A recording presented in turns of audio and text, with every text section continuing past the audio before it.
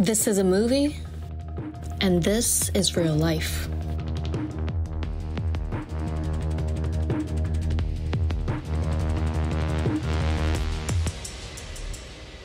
This dark history of South Korea was something that not a lot of people knew about, and the forgotten story just resurfaced recently in the last few years. Did you know that a concentration camp like called the South Korea's Holocaust or the real life Squid Games like area actually existed. And this is hopefully the last known dark camps, at least in South Korea. The story only became public and the public was outraged because of these famous documentaries Kokomu, 그것이 알고 싶다 and took on the story to find victims who never talked about this for over like 25 years. It will shock you of how these places that you seem like you hear from like World War II days in Auschwitz happened also in South Korea. And of course, to make these videos and take my full time researching these cases and to present it to you guys, I have I haven't shaved in a hot minute. Oh god. to make these videos possible, I really want to say thank you to today's partner, Harry's. And yes, I'm looking hairy today. Harry Shaver is the only shaver that I use because it is so affordable yet high quality. And let me just show you guys my shaving routine. What? These premium German engineered shavers does not compare to those cheap ones that you get and you just throw it out. It goes really close to the hair root so that you have a clean shave. I use this everywhere, arms, armpits, legs, including bikini line. And I can't do my bikini line without this. The grip especially is really nice and it's made from 50% recycled plastic. The foaming shave gel is also great for sensitive skin. It includes aloe and hyaluronic acid that your skin will love. You see how clean and smooth my skin is now? On top of that, the trial set is literally $3. Yes, $3. They have not raised the prices like WTF. You get a five blade razor weighted handle, a blade cover, and the foaming shave gel all for $3 bruh. So get your trial set for just $3 using the link right here. And just by clicking on the partners of the videos, you guys are supporting me and my channel as well. So thank you so much. This is a little 12 year old named Chung back in 1982. He was just a kid, so bright, super smart in school. During tests, he would always get first or at least second place. A very good listener and even took care of his sick mother by making food for her. Something that might have been such a big task for a 12 year old. But he did it anyways because he was the son of the family and the son was all that this family had. But one day in 1982, it was getting getting late and Tong never returned home. Come to find out, Tong ended up going to the nearby city with a neighborhood ajashi. Of course, being like 12 and you're going to the city, you were fascinated by a lot of things. There's a lot of things to watch, to eat. He was at the arcade room and it was such a great day for him until the neighborhood man just left him alone for a second when two policemen approached him and asked him, why are you here? Are you alone? The policeman told him, come with us to the police office. We're going to take you home. And of course, being 12 years old, naive, and thinking that these are policemen, obviously I could trust them, he ended up following them to the station. Little did he know that this would change his life forever. From then on, time to time, children would just go missing, vanished without a trace. This is Miss Lee, and in 1983, she was just seven years old. Her little brother and herself were out and again the police would approach them and they just followed. After being in the police station for a couple hours, they told them that they would take them home and as soon as they left the station, there was a white van waiting for them. I mean, legit, starting from the van, it really reminded me of the movie. Because in the movie, you know, you had these secret vans that would just take people and they would vanish without a trace. These kids were then forced into the dark van with no explanation and they realized they weren't alone. There were many other kids and adults and people just mixed shoved into this tiny van. When they got to these unknown locations, from here, this is when hell started. Of course, if not all, like a lot of the kids were screaming and crying and, and telling them like, where am I? I want to go home. But the minute you would cry, question, or complain, the guards would viciously start beating these kids up. When they entered this mysterious building, the victims claimed that it really looked like a prison cell. There was heavy steel doors that only locked from the outside and inside of these long rooms were rows and rows of bunk beds. It was enough to fit at least from 80 to 100 people. Again, do you see like a little bit of the coincidences? Even more shockingly, they noticed that everybody was wearing the same uniforms. And the uniform color was blue with stripes on it. They were also forced to shave all their heads. Nobody can have long hair. And they were stripped of their name and their identity. Now they were being called by numbers. They had to respond to the command officers as if they were in the military and there were also divisions like in the military. One woman who was only seven at the time when she was taken away even remembers that there were kids and babies younger than her. After changing their clothes, they went to bed for the night. Of course, I'm sure like nobody could probably sleep that day. And at 5 a.m. sharp, the alarms started to ring. Everyone started to walk outside.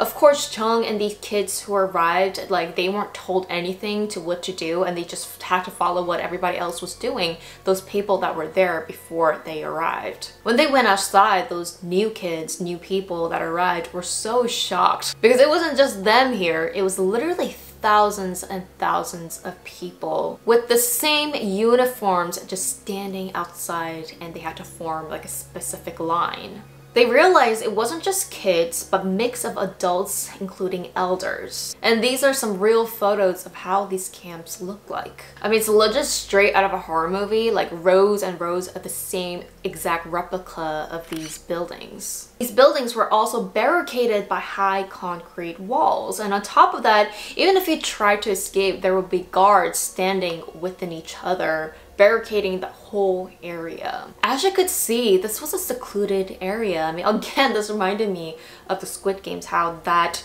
specific location was just hidden in the woods. Like that, these areas were hidden deep. And you would literally have to go hunting or know the forest area in order to catch this place. The crazy thing is this area was like a little town. They had factories, a church, schooling, a barber place, and even like a bathing area. And of course, later we will find out this isn't the only location. There were a couple different locations throughout South Korea. When there would be commands, these people would all of a sudden like salute, sing certain anthems, and of course, these new people who arrived, they weren't instructed to do anything. If they didn't follow or didn't know what to do, they would automatically get a beating. They didn't care if there was anything off rhythm or you decided to resist, there would be severe punishments. One man says that they were also given only 30 toothbrushes for 120 people to all share. They also received this one clothing to wear throughout the whole year. Now these people's daily task was to do pretty much forced labor throughout the whole day. There was many facilities and factories and you see these photos like these kids were the barber man and one of the factories that Chung worked at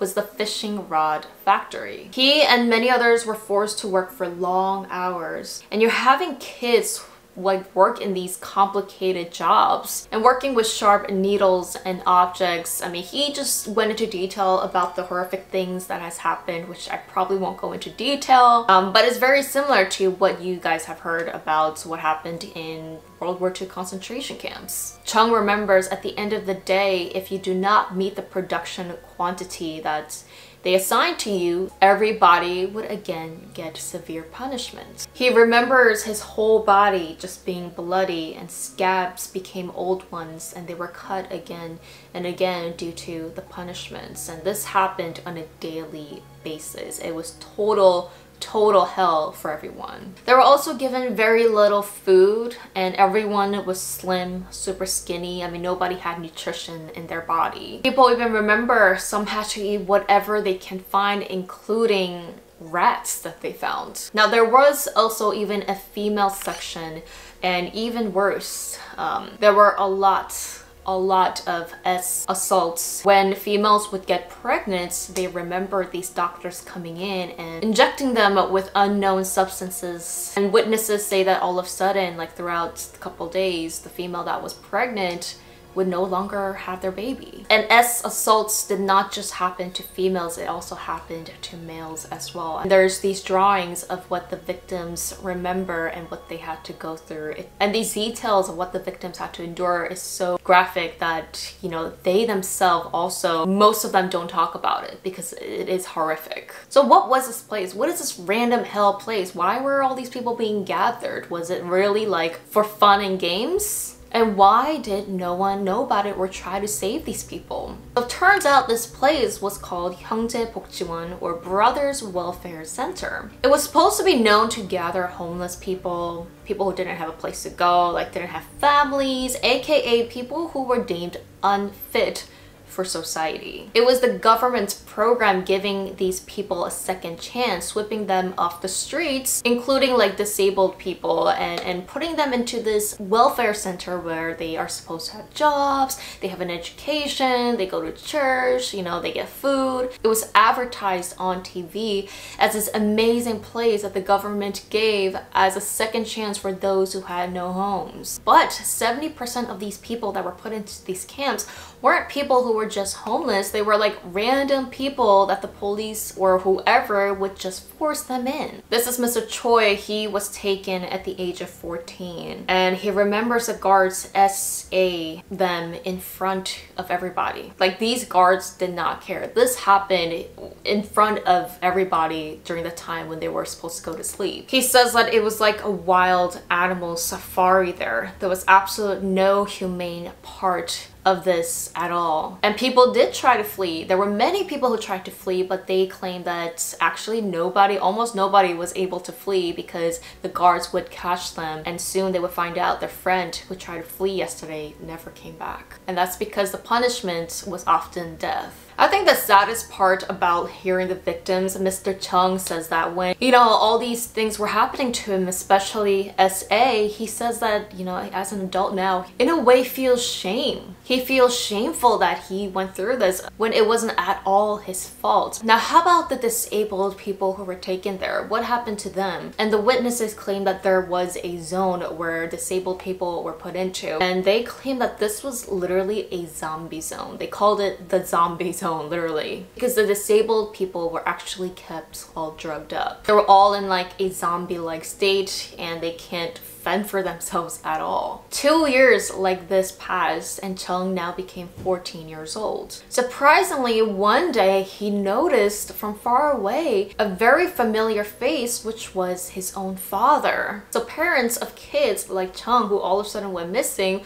would be devastated and when Chung's father found out that his kid was gone for years, he leaned on alcohol. He could not go on with his life knowing that his son vanished and the police couldn't do anything about about it. So Chung's father says that multiple times he went inside the police station, begged for his son to be found. But guess what? The police looking at Mr. Chung's father and him being drunk and like screaming and yelling, he was also now considered unfit for the society and was forced into this camp. And this is Mr. Chung at 50 years old now talking about this incident for the first time. He admits that rather than feeling excited or welcome to meet his father there, he felt ashamed, embarrassed, and especially looking at his father who had aged so quickly, so much, within such a short time frame because of exhaustion. His youthful father was like no longer there. When nobody was looking, Chung's father found his son and he actually handed him over this old rice cake that he's been saving this rice cake was given during like a Korean holiday and only one was given to each person. So his own father, being hungry himself, was saving this for his own son. I mean, it even just shows you how through this traumatic experience and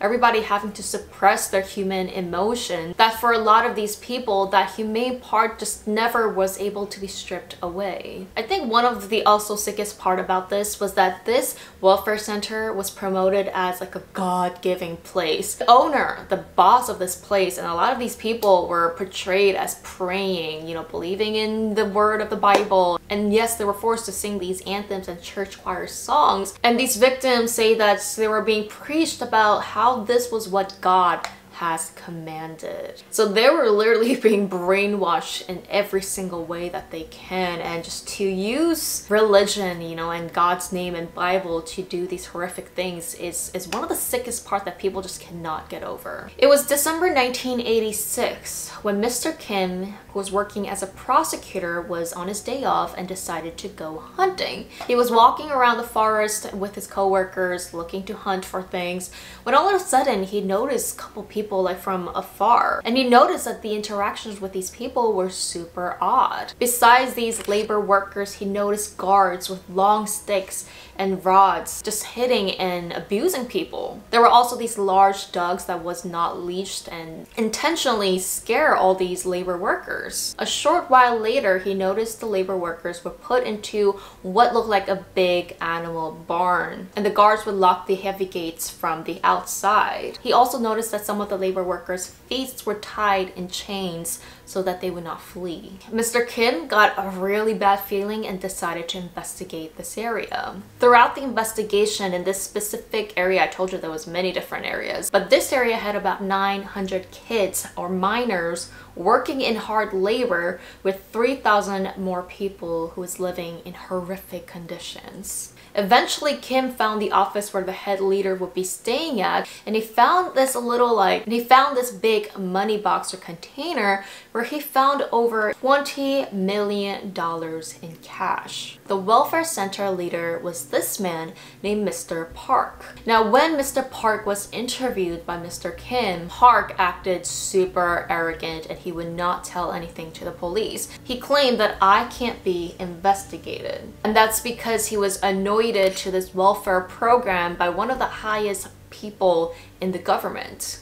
And when I mean highest people, I mean the president of South Korea at the time anointed him to this position. So yeah, kind of, he seems a little untouchable. And when Mr. Park was anointed to this position, the government would give him a lot of money to run this program. Each person that he brought in equaled a guaranteed payment. And also all the labor work that they're doing to create, you know, the fishing rods, whatever kind of factories that all these people worked at, the revenue would also be kept all to himself. I mean, Mr. Park, his words and whatever he instructed was the law here. It got worse from here here. The government found out that in 1981 that the next Olympic would be held in South Korea and decided to start the process of cleaning up South Korea or beautifying South Korea so that the country can look pleasing to the eye for all the foreigners that will come to Korea because of the Olympics basically human trash removal. So who would catch these people? It was the police. Each person that the police brought, they would get a certain incentive and points, and certain amount of points meant that you're gonna get a certain amount of promotion.